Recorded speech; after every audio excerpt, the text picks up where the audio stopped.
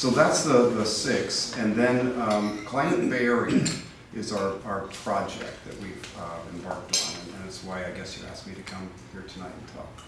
But you, you know, the ABAG PG&E financing program is also very interesting to us as well. Good. so we might talk about that. Great, good. Well, uh, let me just outline Climate Bay Area and, and why we're doing it and, and who's gonna do it and, and then get into a back and forth, because we're, we're just shaping this thing at this point. And I, it's a perfect time to be talking with all of you, and we can test out some of our ideas and we can hear back from you. And I, I'm here to talk about some things, but I'm here to learn as well as to, as to what might work. Again, our job as regional agencies is usually, um, uh, it, it needs some definition in terms of what exactly is it that we could do best that would help cities and counties, private sector, NGOs, and all to move forward. So Climate Bay Area, um, the why is, um, as you know, there are hundreds now, it's probably in the thousands of, of climate projects or climate-related projects, uh, plans, programs, uh, initiatives in, in the region but it's pretty clear that we're not moving at the speed uh, and scale that we need to. I mean, it's great, it's wonderful to see versus what was going on three years ago, uh, or certainly five years ago, uh, or even a year ago. I mean, we get, we find new groups every week these days, and new cities that are taking us on, and new counties that are taking it on. Um, But it- we're not moving at the speed and scale, uh, uh, as you know. I'm sure I'm not telling you anything you don't know already there. But we think there are maybe four reasons for that. And first is, too many groups are working in isolation. Uh, There's a lot of overlap going on, there's a lot of duplication going on, inefficiency uh, there.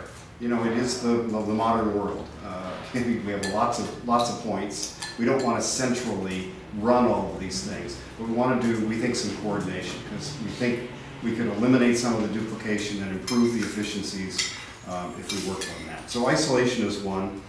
Uh, Two is, I think the roles are poorly defined um, at the government level. The role of the state, the role of the regional agencies, the role of local governments is, I, I think, very uh, hazy.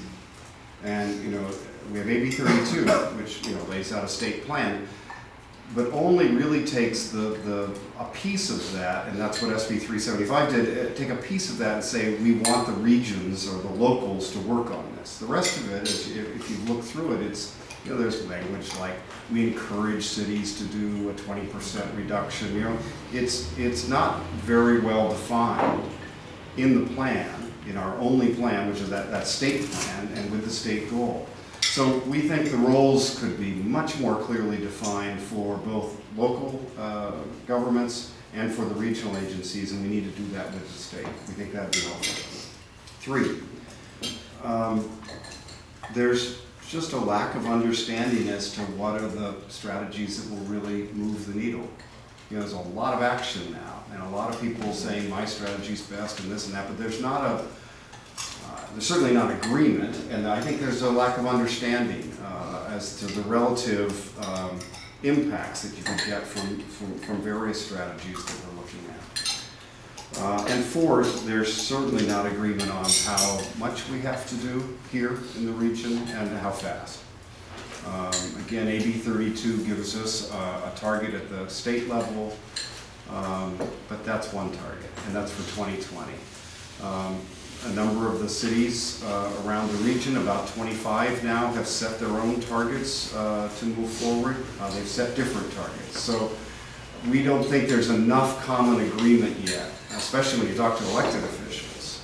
And we start talking about this strategy or that strategy or the importance of, of moving quickly on this or on that. And we're, we haven't done the homework yet to get people in, in enough agreement as to how fast we have to move and how much we have to do. So those, for those four reasons, we're forming this, um, uh, we're calling it a meeting place, a forum for, for the region uh, called Climate Bay Area that will try to provide some coordination and assistance to all the different groups, public and private, that are, that are uh, working uh, on this. And we're going to do two things to start. One is um, we're doing a scan in each county, and I just started last week, so I did Sonoma to start, which was a fun one to start with because there was quite a bit going on there. Um, a scan of what are the key projects in each county. Not a complete list, because that would, you'd- it'd be like painting the Golden Gate Bridge, get done with the list, you'd be back to the beginning. But what are the key ones that, that would be helpful for other counties to see? You know, if Sonoma's doing X, you know, let's pick the ones that would really be interesting to look at elsewhere. Uh, And there are a number of there, as I'm sure there are in every county. So one is picking out those very best projects that could be replicated elsewhere and getting that information out.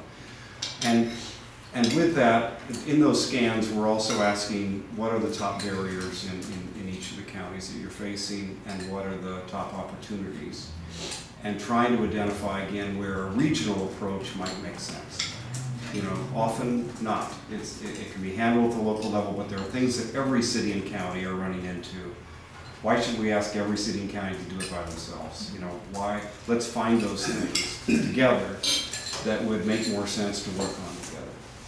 So we're gonna do some coordination around that. We're also then going to, that's gonna be kind of the the easy part, is that part, you know, the coordination and showing people that three of them, are three different cities are doing X. Why don't you talk to each other and get to, you know, that kind of thing. Um, the other part that's gonna be more difficult, but uh, greater payoff maybe, is to identify with the group. And the group will include representatives from each of the counties, from, from different sectors, from business and nonprofits and EJ groups and all of that. To identify what are two or three things that in the next year we really ought to have to work on together. That, that, that will really help all of us move forward.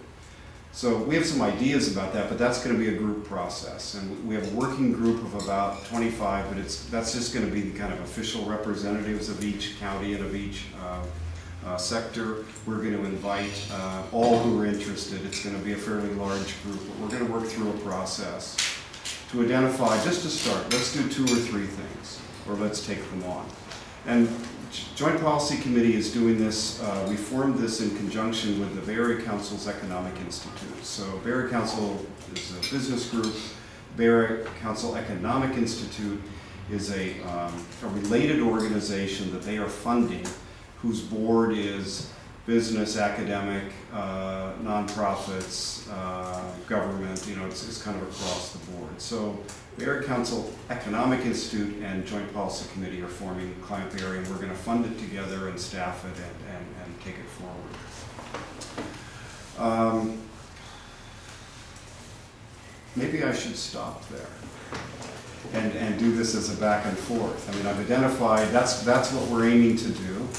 Um, I've identified a bit of what we think the four problems are that we're getting at. Um, How does this, you know, let's, let's have a back and forth now, and I can tell you more as we go. How's that? Does that sound good, Dave? Yeah, that's fine. Okay, good. I have a question. What Yeah. forum are you going to use to get the feedback from all of the cities? Is there gonna be an online forum? Is it gonna be a larger workshop? We're starting with a couple of meetings in each county.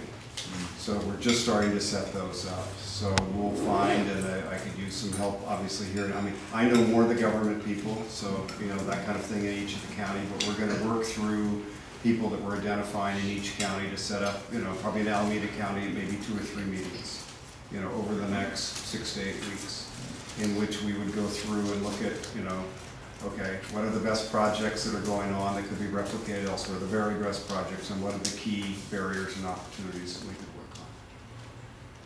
What kind of enforcement do you have, let's say ABAG, for example? Do they have their own regional greenhouse gas emission uh, reduction targets? No. Okay, so Yeah, it's we, just up to we have, we've adopted, the four agencies have adopted the state, the state targets as, as, and our, our program says we will meet or exceed AB thirty-two targets, so. But we have no enforcement mechanism for that, uh, at this point. It's a, it's an interesting question, because when you look at, at the four agencies, um, they don't have a lot of the authority that you would want someone to have. I mean, this is a common story in, the, in, the, in this climate world.